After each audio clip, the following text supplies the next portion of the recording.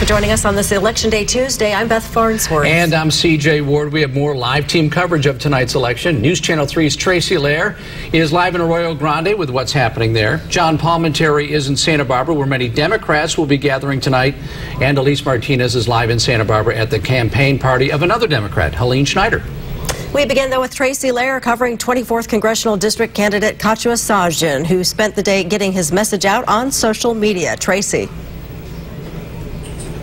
He likes to say online that you can keep up with Katcho, and that's what we're trying to do in Arroyo Grande. This is his hometown. It's the kind of place you'll see these signs in yards right across from polling places. We're right across from the Calvary Chapel polling place, and it's been pretty busy here. Now, he has taken to Twitter and Facebook for much of the day today. He calls voting a celebration, and he's one of three Republicans in the race for the 24th District. He's been saying things online like unfair trade deals or something he wants to combat, and he says no budget, no pay for Congress. He also says he doesn't just let talk the talk, he has walked it too as a former supervisor and an assemblyman. And he also shared a fortune cookie that his son gave him, and it said that his efforts would pay off, and he's hoping for that to happen tonight. He's going to be thanking his supporters tonight at an event in Arroyo Grande, and we hope to keep, catch up with Katcho there. Also, he hopes to be one of the top two vote getters to get him on the ballot in November, and that's the big race today. Again, the polls are open. It's pretty busy here in Arroyo Grande, and we'll have more coverage coverage for you tonight on News Channel 3 at 6.30. Reporting live in Arroyo Grande, Tracy Lehr, News Channel 3. Okay, thank you, Tracy. And Justin Fareed will host a gathering in Santa Barbara tonight. He and his campaign took advantage of every second today, visiting polls and knocking on doors, trying to sway last-minute voters. Now his campaign is preparing for tonight's event at Endless Summer Bar and Cafe. News Channel 3's Vicki Nguyen joins us live from the venue. Vicki.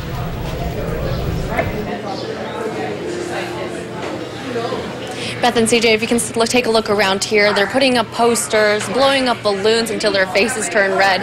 Uh, they're preparing for tonight's venue, and they're expecting a lot of people to show up tonight. And as you can take a look over here, uh, the, the supporters of Justin Fareed will be getting a front row view of Santa Barbara's harbor.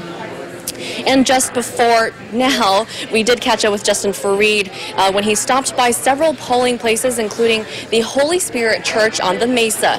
His campaign stood in front of the entrance of the parking lot, hoping to get last-minute voters. Fareed says he doesn't have any regrets about his campaign.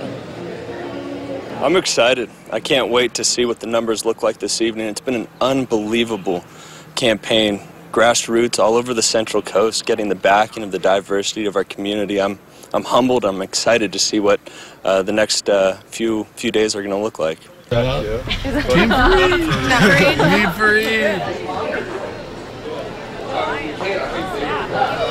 He is hopeful of tonight's results, and though his event begins around 7 p.m., Fareed says he won't arrive until 8.30 to mingle with every one of his supporters here.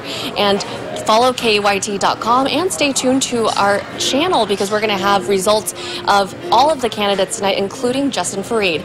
Live in Santa Barbara, Vicki Nguyen, News Channel 3. Okay, thank you, Vicki. And Santa Barbara Mayor Helene Schneider also wants to represent the 24th Congressional District. News Channel 3's Elise Martinez joins us live from Santa Barbara with that part of the story. Elise. Beth CJ, I'm at Potek Winery where Mayor Helene Schneider and her supporters will watch those election results roll in tonight. Now she's joining me live, and you've had a very busy day with a last minute push for voters. Where did you just get back from?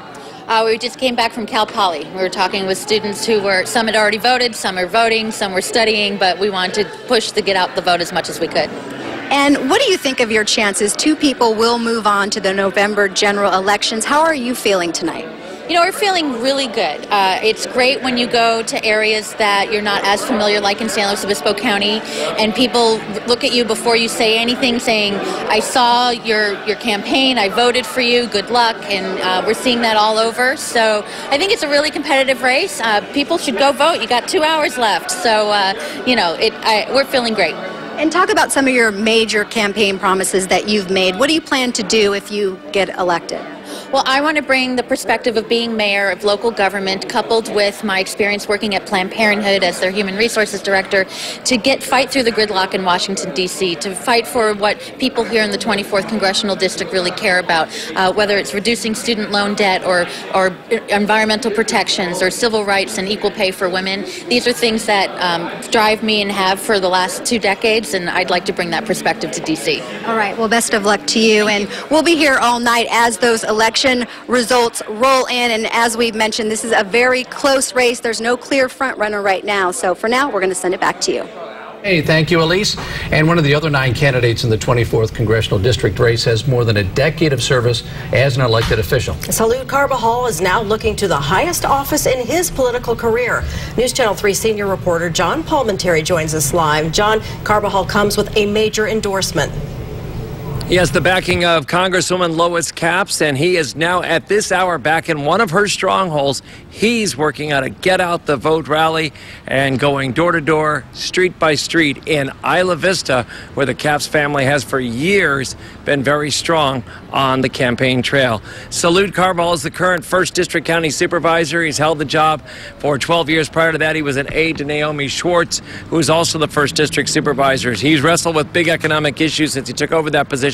He talked about that when he was at our congressional debate just a few weeks ago at the station, and he talked about the economy and how he had to deal with economic issues when times were tough in Santa Barbara County around 2008 when they had to cut positions, freeze positions, and also cut back on services. Now, with the economy coming back, they're working on some big money items, including fixing the broken infrastructure and roads, and also trying to put all the pieces together on a very complicated North County jail project that's going to have a price tag estimated to be at $100 million.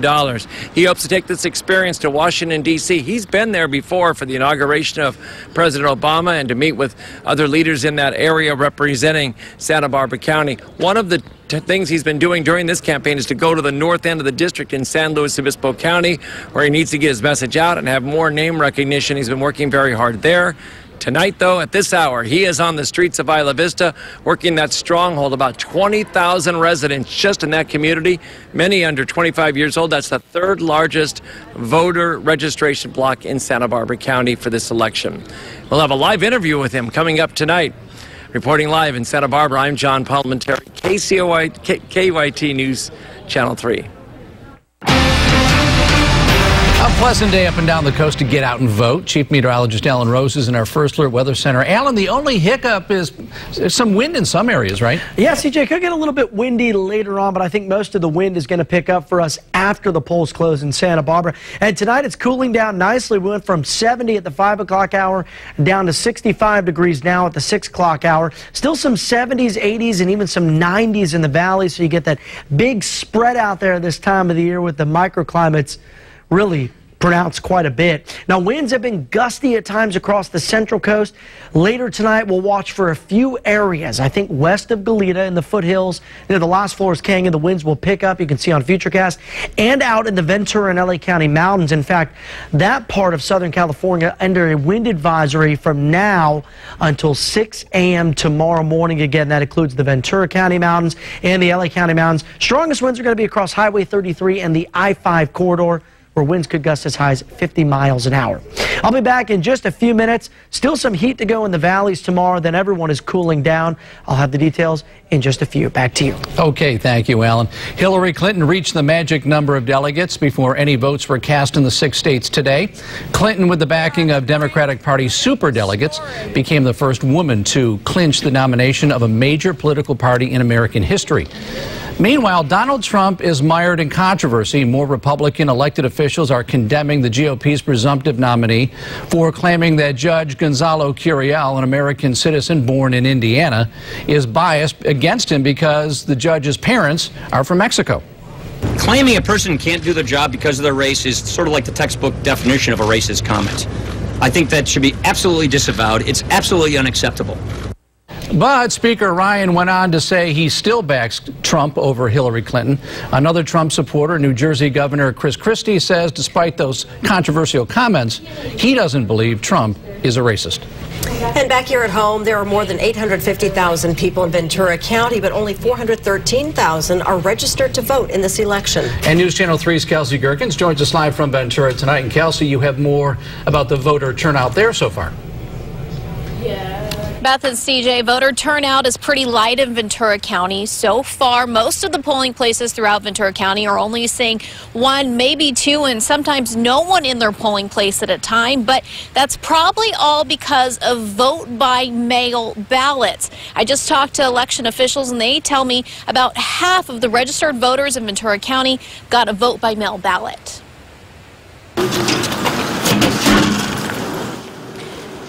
Ventura County election officials are not releasing polling numbers yet, but said vote by mail numbers currently appear to be higher than 2012 totals.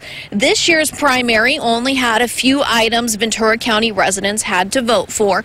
The most talked about elections in Ventura County this election cycle are the seat for United States Representative in the 26th District, with Republican Rafael Dagnesses running against incumbent Democrat Julia And of course, Ventura County voters pick for president. For this primary, two candidates stumped for votes in Ventura County. Hillary Clinton putting on a rally last week in Oxnard and Bernie Sanders putting on a rally the week before in Ventura. More than 10,000 Ventura County residents got to hear one of the Democratic candidates speak firsthand.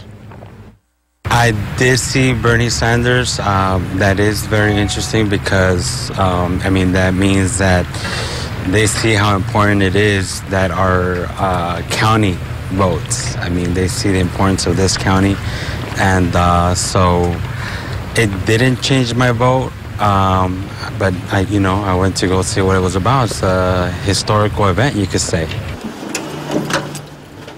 You still have time to go out and vote. Polling places will close at 8 tonight. And if you have one of those mail in ballots, make sure to turn it in. It could have been postmarked today, and as long as they receive it by Friday, it's still going to count. If you want to turn it in by hand because the post office is already closed in your area, you can drop it off at one of these mail ballot drop off boxes or turn it into any polling place in the area. Running live in Ventura this election night, Kelsey Gerckens, News Channel 3. Okay, thanks so much, Kelsey. And this just in, we're learning that Hillary Clinton is the Democratic presidential nominee presumptive in New Jersey. And Trump wins South Dakota. Okay, coming up next on News Channel 3 at 6, Rio de Janeiro beaches are going high tech with a new Seaside app just in time for the Olympics. And Alan has your first alert forecast coming up after the break. Live, Beth Farnsworth, CJ Ward, and Chief Meteorologist Alan Rose. This is KEYT News Channel 3, where the news comes first. One of the most heated political seasons, from important local and state races to the presidency. Now, it's time to use your voice. After you vote, stay with the combined resources of the largest news team on local television for comprehensive coverage of the returns. Live team coverage throughout the night on News Channel 3.